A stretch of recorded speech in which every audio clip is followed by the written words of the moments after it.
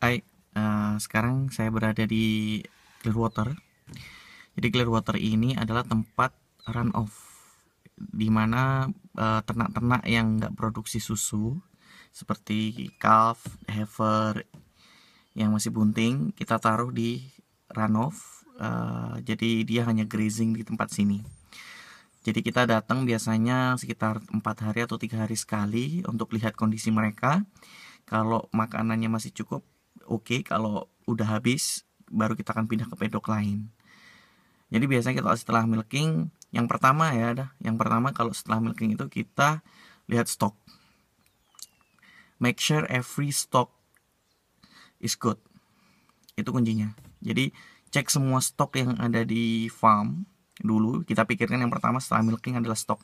Stok milking oke okay, stok dry oke okay, kemudian uh, yang stock is oke. okay, jadi kalau sudah oke semua baru kerja yang lain. Jadi eh, pada hari ini setelah milking tadi tadi scanning eh, kita langsung eh, berangkat ke run off, kemudian kita cek semua yang stuck yang di yang stuck di uh, run off itu oke atau enggak. Ya. Saya akan ajak teman-teman buat gimana sih cara lihat uh, stok yang bagus di run off kemudian bagaimana kita memindahkannya itu gimana 这个。